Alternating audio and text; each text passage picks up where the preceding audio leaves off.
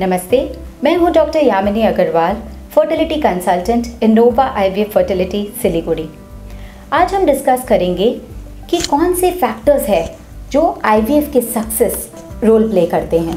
So what are the factors that affect the success of IVF हम सभी जानते हैं कि आईवीएफ में हम पहले स्टिमुलेशन करते हैं ओवेरियन स्टिमुलेशन करते हैं एंड अंडे निकाल के फिर भ्रूण तैयार करते हैं। और इस भ्रूण को बच्चेदानी की परत बनाकर उस भ्रूण को बच्चेदानी में ट्रांसफ़र करते हैं।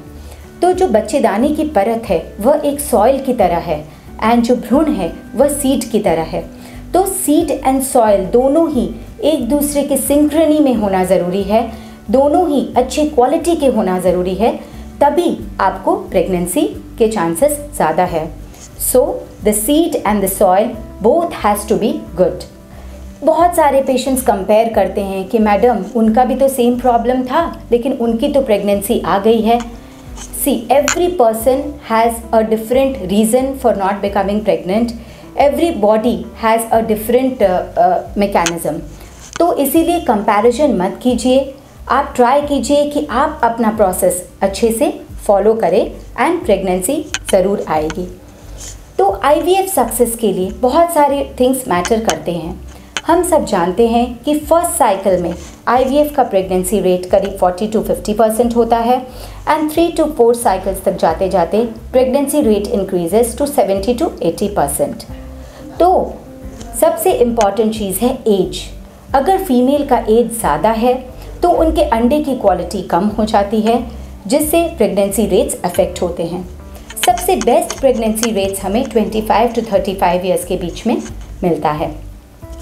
Second thing is what is the cause for uh, infertility? Or I say subfertility. अगर ट्यूबल फैक्टर इनफर्टिलिटी है ट्यूब्स ब्लॉक है तो उसमें प्रेगनेंसी के चांसेस ज़्यादा रहते हैं। Rather than factors of the uterus like fibroid कोई ट्यूमर है यूट्रस में या एडिनोमायोटिक यूट्रस है उसमें प्रेगनेंसी के चांसेस कम हो जाते हैं। मेल फैक्टर अगर इनफर्टिलिटी होती है तो उसमें ICSI procedure that is intracytoplasmic sperm injection की पद्धति फॉलो की जाती है। Third what important thing is the lifestyle अगर आप हेल्दी रेंज में अपना B M I weight maintain करते हैं हेल्दी लाइफ स्टाइल फॉलो करते हैं पॉजिटिव एटीट्यूड रखते हैं तो आपके प्रेगनेंसी के चांसेस बहुत बढ़ जाते हैं। जैसे हम जानते हैं कि स्ट्रेस से हॉर्मोन्स का संतुलन खराब होता है एंड पॉजिटिव रहने से पॉजिटिव सोचने से हमेशा पॉजिटिव ही होता है। इसी पॉजिटिव एटीट्यूड को लेके हम आईवीएफ करते हैं।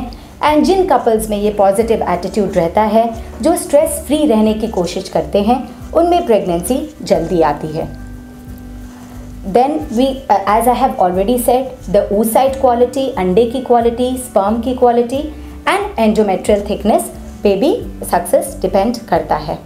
Last but not the least the lab the clinic which you choose and the advanced lab which they have उस पर आपका सक्सेस रेट बहुत ज़्यादा डिपेंड करता है।